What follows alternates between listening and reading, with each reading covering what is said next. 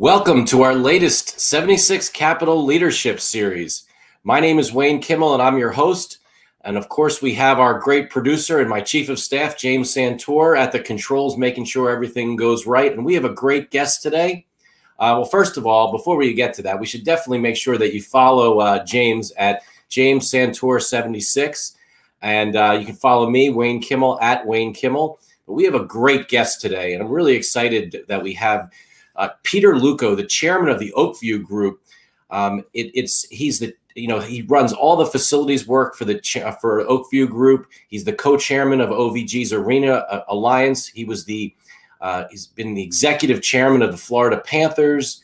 Uh, he's involved was involved with Comcast Spectacor for over 25 years, where he was the president and chief operating officer and oversaw the Flyers and the Philadelphia 76ers when they owned them. He's been a National um, Hockey League Board of Governor, uh, has incredible relationships in the hockey world, uh, knows everything about operations and, and how to really run arenas. And we're going to hear some really great stories and some things, all the great things that um, my good friend Peter Luukko has done in his career so far. And man, are they doing some really exciting things right now. But as many of you know, 76 Capital Leadership Series, we do this series because we're all about trying to reach out to the entrepreneurs, the executives, the athletes who want to hear about what's happening in business. What are the next next things in the sports business? We want to talk to you as an entrepreneur at 76 Capital. We want to hear your ideas. We want to reach out and be able to find ways that we potentially we could even become investors in your company and really work to hear what are the next next things in sports whether it's esports whether it's sports betting whether it's just really incredible new technology and data collection and data ideas and analytics around the sports industry. We want to talk with you. We want to learn from you. You can follow us on 76 capital whether it's on linkedin facebook instagram twitter um, our youtube channel. You can subscribe to that. And also now our all of our leadership series are done on as podcasts as well. So all your favorite podcast networks, you can hear these shows. And also at 76 Capital, we have the 76 Capital Sports Advisory business where we're working and consulting with sports teams and leagues and conferences and athletes and brands. That's a really new, exciting part of everything that we're doing at 76 Capital. But most importantly, we're here today because we have an incredible guest. We have my good friend Peter Luukko the chairman of the Oakview Group Facilities and co-chairman of OVG's Arena Alliance. Peter, welcome to the show. Thanks, Wayne. Uh, it's great to be on. I, you know, when you were uh, doing your preamble, I was thinking years ago when uh, we used to, you'd be courtside at, at, a Sixer game and Flyer game, sometimes hanging out in the director's lounge. So uh, it's been a lot of fun over the years, and and now, uh, you know, probably going to be working with you on some esports concepts. So, uh, you know, when your mom tells you don't burn bridges, it probably is not a bad idea, right? well, that's a great piece of advice, and it's certainly something that you know I'm excited to talk with you about, and all the great things that you've done in the sports world. I mean, you've truly been a trailblazer, um, done incredible things throughout your career, and I think it'll be really interesting for uh, our audience to hear all the things that you've done. And, and, one of the things that we do on our 76 Capital Leadership Series, really to start things off, is you know to hear some of the background, so where you you know where you grew up and and kind of what made you the person you are that you are today. Well, uh, as they say, I'm a I'm a masshole. Uh, I'm from Massachusetts. Uh, we were always called that when we played hockey in, in any other state. Uh, but I'm, I'm from a, little town outside Worcester, Mass. Uh, and um, I went to school uh, at the uh, University of Massachusetts. Uh, I actually, my through a friend of a friend, my father actually introduced me to somebody who was working at the Boston Bruins, and uh, it said, "How my son wants to get in this business. He plays hockey." What do you do? And they actually sent me uh, to the University of Massachusetts, and it was a sport management program. Uh, it was one of the first sport management programs in the country, and it was really uh, it was groundbreaking at the time. Now there's a number of sport management programs. Uh, as as obviously this business has become even more of a business, but I, I went there. I, I came out of there. I was hired off an internship at, at, at the New Haven Coliseum, uh, the old New Haven Nighthawks. Uh, it was the end of sort of the slap shot era. So we used to say, uh, you know, great fights on the ice, better fights in the stands. And uh, that was before Family Affordable Fund. Um, so I, I, was there. I was work uh, in Providence for the city of Providence, uh, the famous money, uh, Mayor Buddy Cianci. That's where I actually became great friends with Lou Lamoriello. I've literally been friends with Lou since 1983. Um, we now work together as he's the uh, president of the Islanders Hockey Ops. Um, but really, my, my real break was in, I was hired in 1985 by Tony Tavares to, to work for Ed Snider at Spectacor. And from there, I, I went out and I ran the LA Coliseum and Sports Arena. And uh, our tenants were the Raiders and, and, the Clippers. So I actually worked with, uh, you know, Al Davis and, and, Donald Sterling, two famous and infamous owners. Uh, becoming unbelievably great friends with Al Davis. He's, he's he, you know, he was at times maligned, but he very much like Ed Snider, he made his money uh, through sports, and he was very dynamic and a very smart man. Um, that's where, as crazy as it sounds, that's where I really got to know Ed was in California. He was spending a lot of time out there, um, and I was more of the junior guy in this deal at the time. But uh, I worked with Tony and Ed to. We actually kept the Raiders in LA. It was a big, big media story at the time. Um, and we cut a deal with Al Davis to stay in LA. Um, as I got to know Ed, he didn't realize that I had this hockey background.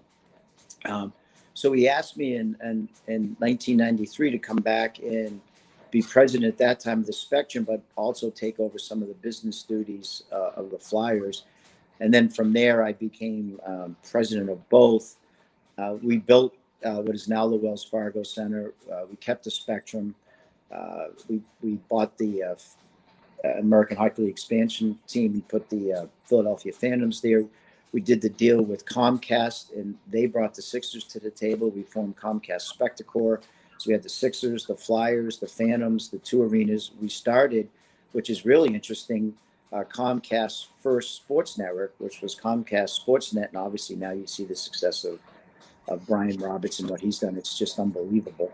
Um, and then during that period, we had been in the management business. That's why I was in LA. Uh, we sold our interest in SMG, and then we started uh, at the time Global Spectrum, started Ovations Food Service, and then Paciolan Ticketing. Um, and you know, obviously ran those for many years. And then in 2013, uh, as Ed was doing more of his estate planning and, and, and beginning to move on himself, I sold all my interest uh, back to Comcast and and left the company then. Uh, then about a year later, I was working for the Florida.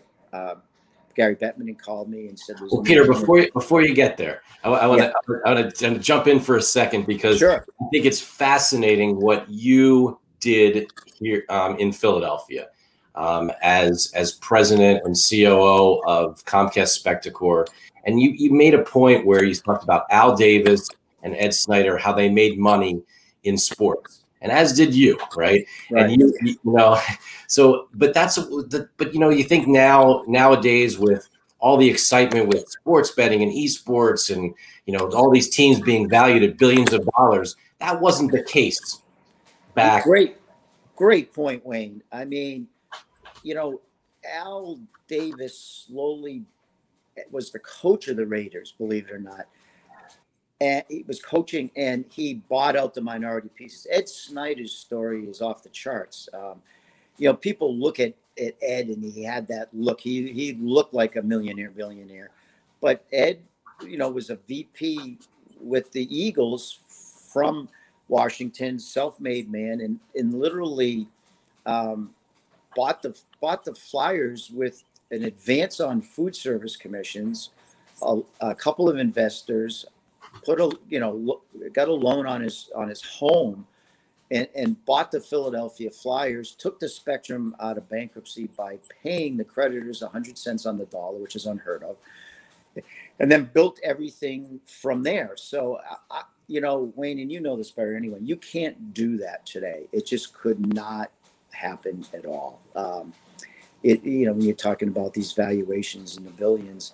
Um, so it, it was a fun time, you know, sort of, I was very fortunate enough to sort of be in those years from the sports entrepreneur to the to the wealthy owner, whether it's a corporation or an individual, and you know the characters of the game uh, and in, in the business. Then you know when you when you meet Eddie Einhorn in the Reinsdorf family, who's still in this, the Wirtz family, you know obviously Ed Snider, uh, Mr. and Mrs. Ilitch, you know in Detroit, uh, Al Davis, uh, you know even even the Sullivans who owned the Patriots, you know uh, before Robert Kraft. Uh, it was a different day then. Um, and I was fortunate to, to be part of it and, and fortunate, frankly, to work for uh, a guy like Ed Snider, who, who literally, as I would start a company, um, literally gave me pieces of those as a reward for, for starting the company. And that just doesn't happen. So as you know, and we all know,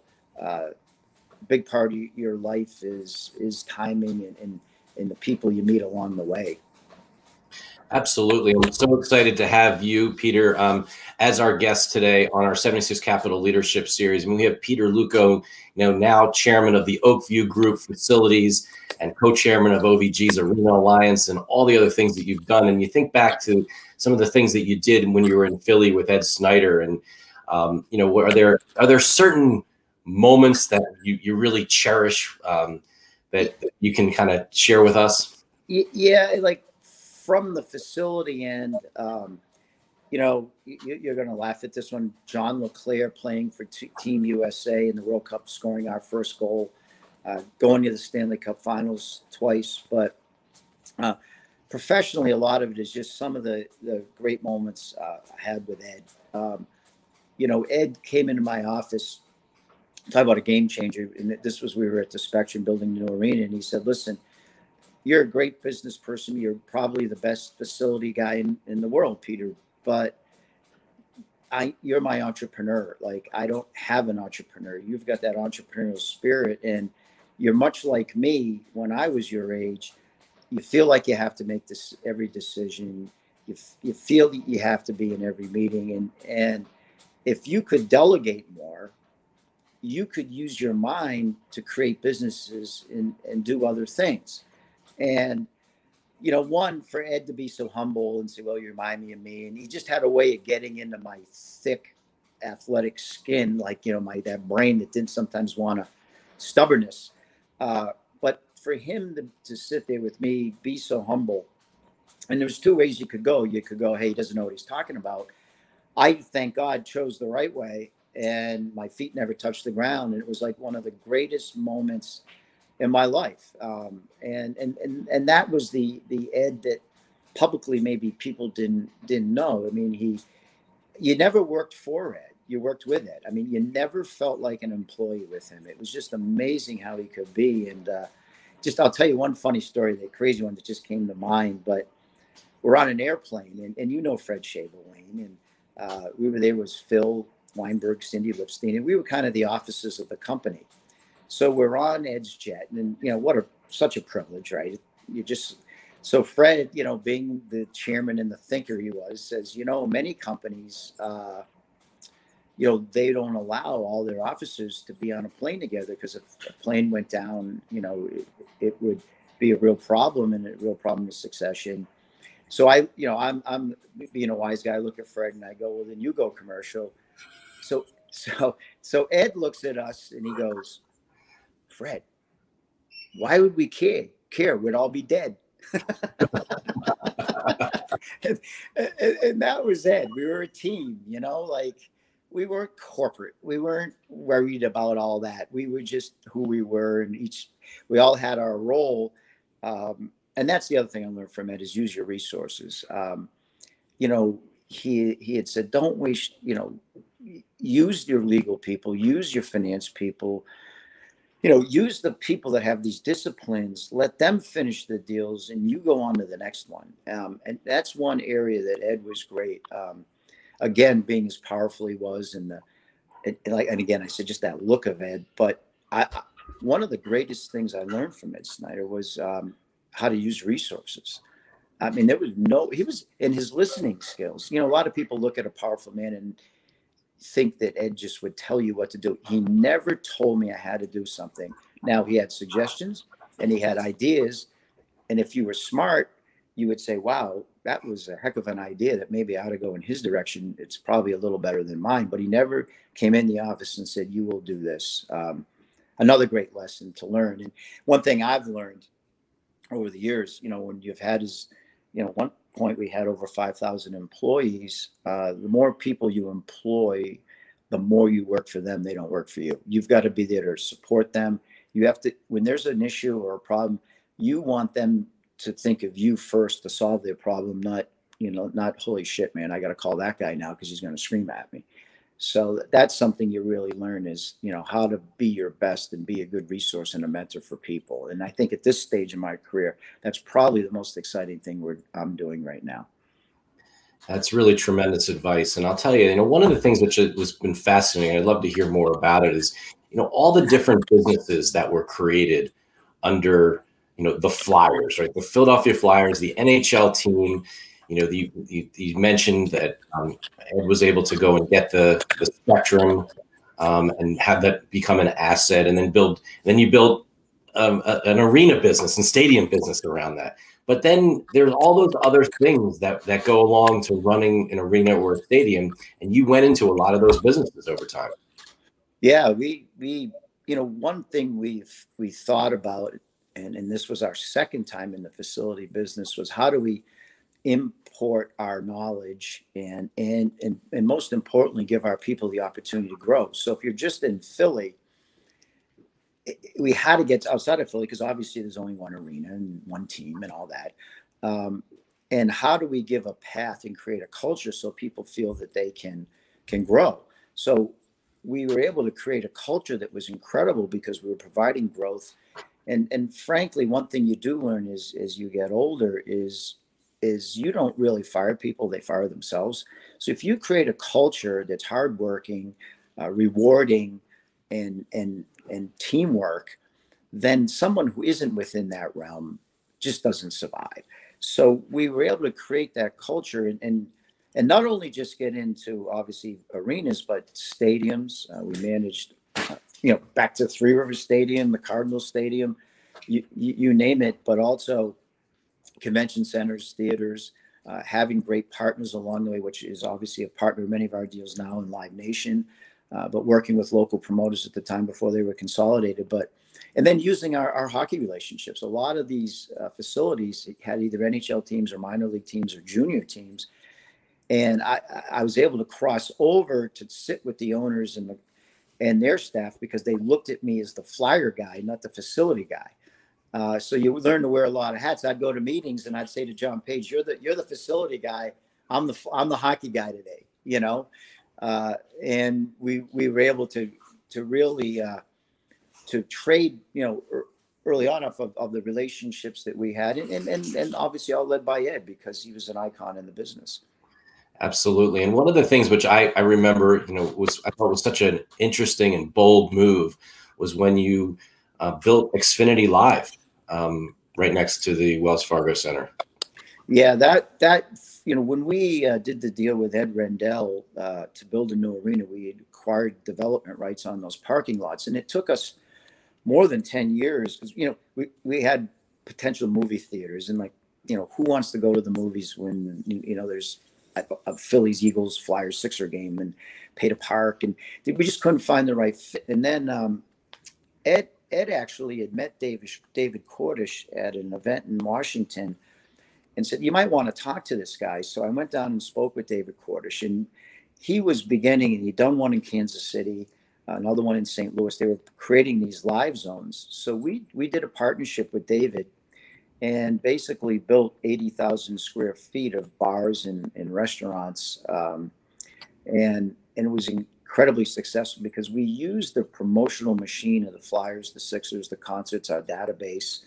Uh, we would do promotions where we would, during a Flyer game, we would we would take a, a camera shot over to Xfinity Live, and we would take four four uh, fans from there and sit them on the glass so people go to Xfinity Live thinking maybe they could get chosen to be at a game.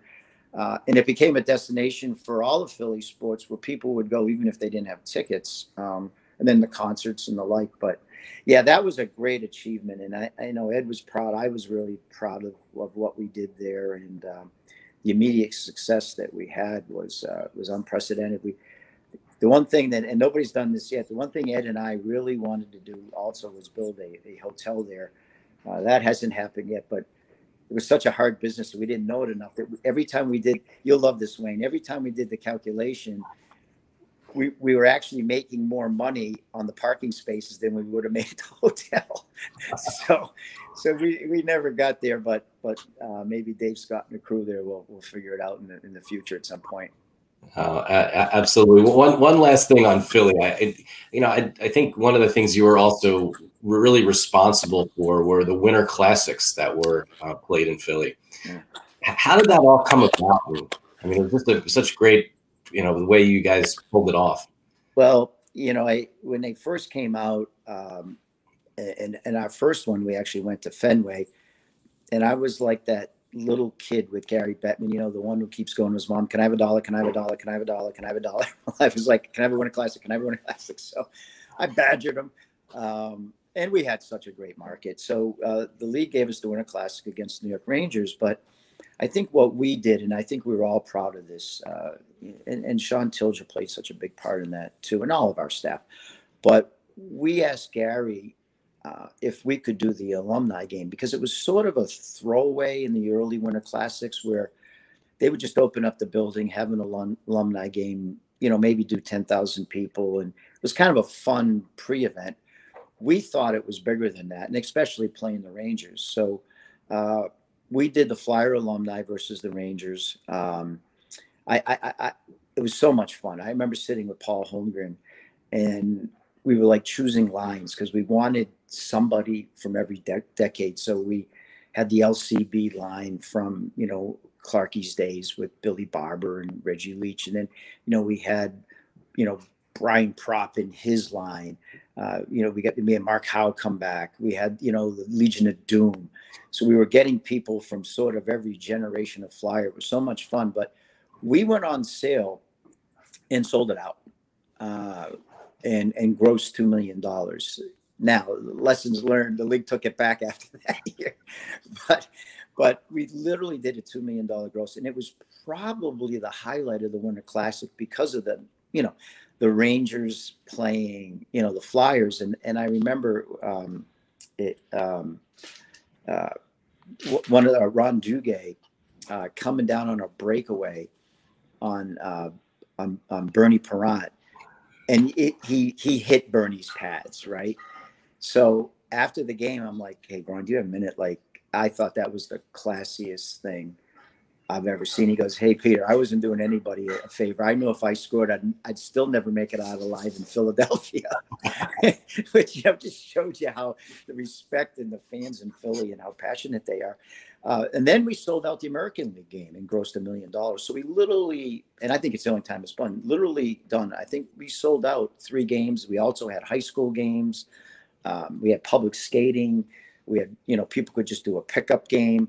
Uh, and we kept the ice uh, longer than any other Winter Classic had. And, and, you know, everybody in Philly sort of had a chance to be, as, as Ed always had it, we, we were the Flyer family everybody, no matter how good or bad you were as a skater, everybody had a chance to to participate and and work at uh, and you know skate at Citizens Bank Ballpark. And you know another special, really thanks at that time. And, and it's sad that he's he's no longer with us, but. Uh, Dave Montgomery was one of the classiest guys Wayne I've ever met in my life. Uh, he embraced the Winter Classic. We ended up uh, managing his stadium and booking concerts there. But uh, you know, to see even a guy from another sport having so much fun and seeing the Philly staff there. So it really wasn't a flyer event; it was a Philly event, and and I think uh, the more I think about it, that that that talk about a highlight in a career to be to be part of that was just incredibly special. Well, it's really great and special to have you as our as our special guest today on our 76 Capital Leadership Series. And we're here with Peter Luukko. And Peter, you, after spending all this, you know, almost 25 years, right, in, in Philadelphia, um, you went down to Florida with the Florida Panthers. And how did that happen? It was great. Um, it was about, it was a little after a, a year I had, had left, and Gary Bettman had talked to me about a couple other teams, and um, it, this this is actually a great story because he said, "Listen, you know, Florida needs the owner needs some help down there, and uh, like you to go." And I'm like, "Geez, you know, I don't know. I've only been gone a year. The Flyers on aren't in the playoffs. You know, I'm I get these strange calls like maybe I wanted to head in one direction, and there was a rift with Ed and I, and frankly, I don't want to." I have so much respect for Ed. I don't know if it's the right thing to do. And he goes, Well, I need you to think about it because you've turned a couple jobs down you know, and if you turn another one down, no one may call. And I go, yeah, I'll think about it. So Gary calls me next day and it said, Ed says it's okay. I said, well, of course he's going to say it's okay. I mean, he's not going to say no. So uh, anyway, I went down there, great experience. You know, every day you do learn something. And to be with a failing franchise, uh, great new owner in Vinny Viola, um, we were able to get it up to 15,600 paid. Uh, we won our division, uh, worked with Dale Tallon um, talk about a fortunate person to to literally work in your career. You're the, the three GMs you work with are Bob Clarke, Paul Holmgren, and Dale Tallon. I mean, talk about a layup. Uh, you know, three of the most all different personalities, but but stone cold winners and three of the best hockey men ever. Um, so that was so much fun. But uh, while I was there, is when Irving and Tim approached me and. Uh, they were started in Oakview Group. Uh, I I go back to 1985 with Irving. Uh, we were partners with Irving and MCA Records uh, as the manager of the LA Coliseum. Uh, incredible man, probably the most powerful uh, manager in music. You know, the Eagles, Fleetwood Mac, uh, you know, Harry Sheehan, all on and on and on. I mean, the, the acts that he Bon Jovi.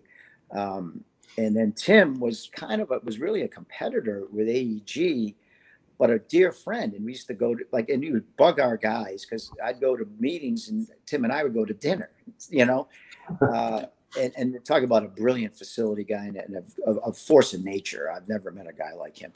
Um, and they said, "Would you like to join the band?" You know, I want to. And Tim had called me two two years beforehand and said, "You and I are going to work together." He was at Maple Leaf Sports. He said, "I'm going to leave here. We're going to work together." And I'm like, "Yeah, sure, whatever." Um, well, we are, and um, we created the Arena Alliance. First, and crazy as this sounds, first time in the history of the business that we had aligned the biggest arenas in the country.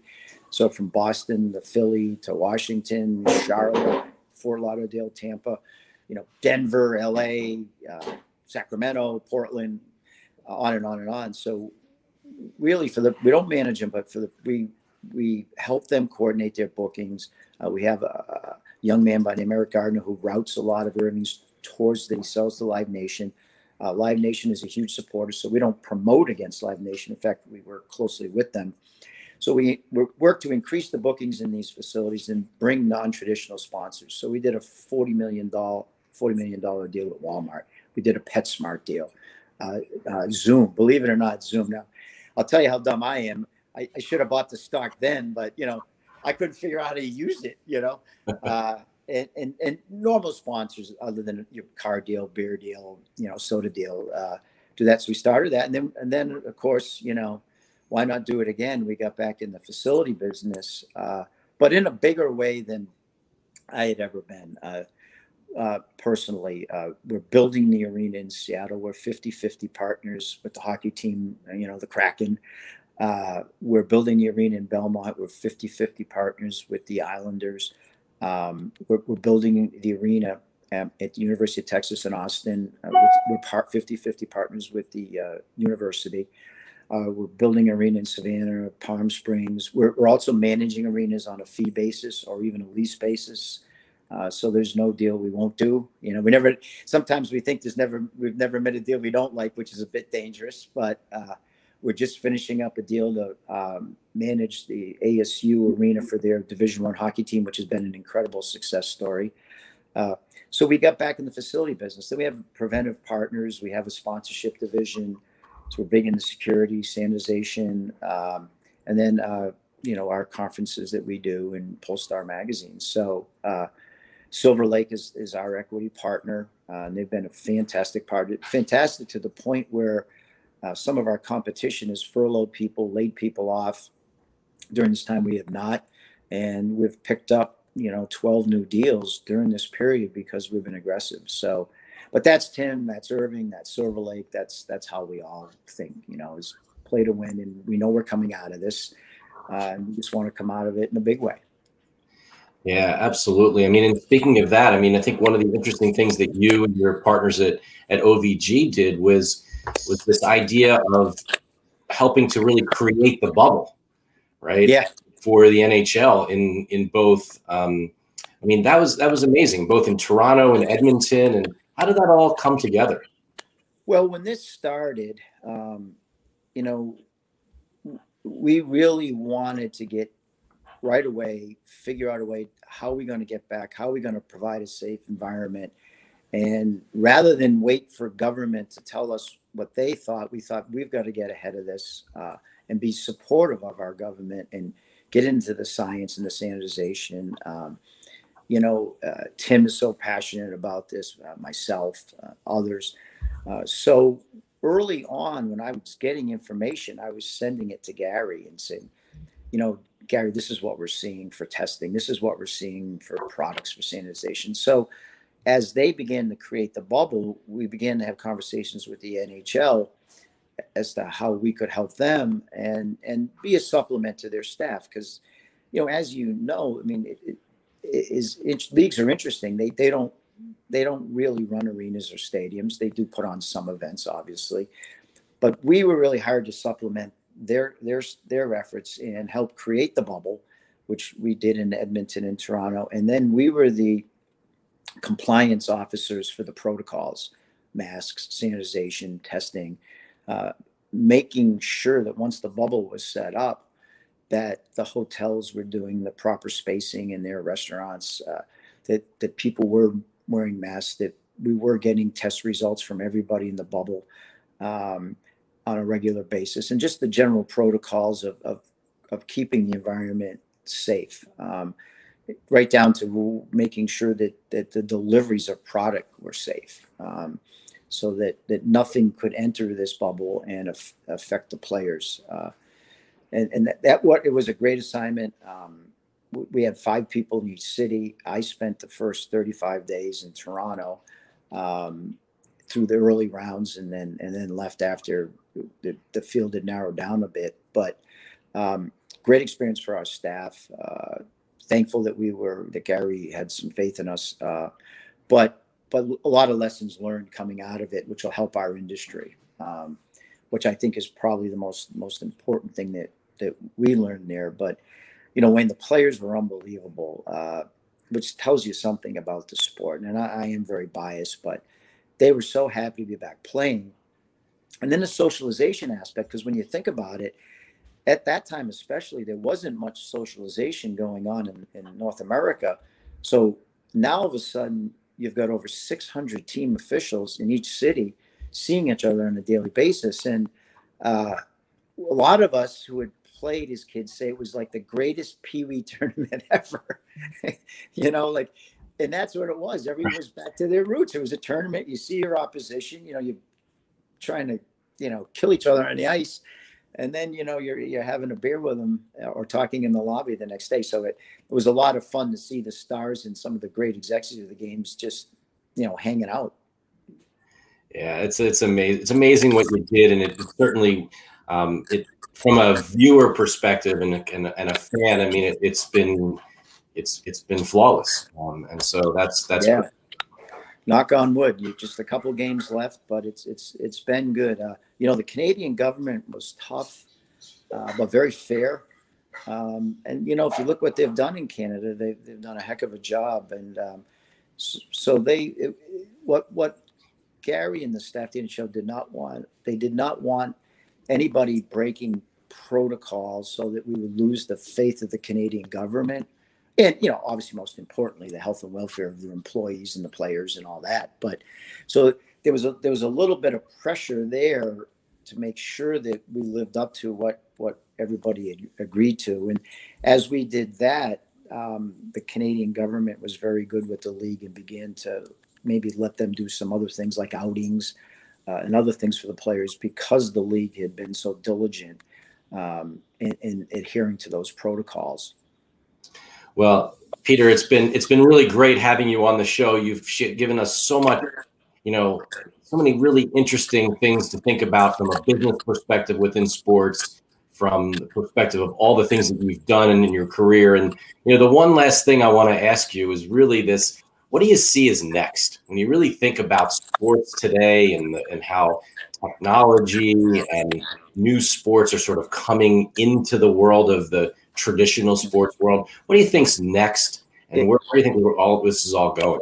It's going to be all about the technology. The, the, the beauty of sports and entertainment is that you'll never replace the live experience. So we we will live forever as an industry. Um, it just people, and you see it now. They need to socialize and have fun, uh, and they want to do that together. We're social animals, but it, for probably thirty or forty years, it was arena and stadium design. Are you adding clubs and suites and you know early buildings did not have they had one concourse makeshift suites no clubs it was the the architectural physical design. Now the star, and, and Wayne, to your credit, you're in it, is the technology. It, it is how are we going to be through applications or, or, or, other means, how are people going to get this instant information while they're viewing? Uh, I, and, and, and, in the sports gambling and how is that going to you know integrate into into uh, what we do in, in your game experience? Because you know every generation is smarter bigger faster stronger right? So people you know multitasking sounds like a phrase but it's the truth. People are doing all kinds of things while they're watching for years people just watch the game in fact you could shoot a cannon through the concourse you know during a flyer game and not hit anybody now you know people that it's just part of the experience is the game. It's the focus, but what information can I get? What other kinds of fun? How do I get my food? How do I get my merchandise? Am I am I making prop bets? You know, uh, are we going to a game, and and four of us are betting on who makes you know who scores the first goal at what time, but, but all that kind of stuff. So to me, and I, I wish I had the answer because I'd get in that business, but it's going to be the, the technology and and because of that, I think it's the greatest time in sports to be young and getting in this business because you bring something to the table. I didn't bring anything to the table. You had to pay your dues and you know you bought media and you, there were three you know four TV stations in a marketplace. But the way that that uh, young people now navigate through the various mediums, uh, my brain doesn't do that. I didn't grow up with that. Uh, theirs does, and so they actually come in and and right away they're great marketers because they know how to speak to other people in today's mediums so uh, mediums technology go young i think that's the future well i got to disagree with you for a little bit because your brain does work that way We've done a pretty some incredible things and by the way one of the things which we didn't mention was was with the 50-50 game which is really almost the beginning of, of sports betting and, and you and you were one of the leaders of that great, great. It's a great concept. It's you know huge in Canada, probably up into the Northeast. Is just you know where somebody for charity, you know, you buy 20 tickets and 50% the winner, 50% goes to the charity, 50 to the winner.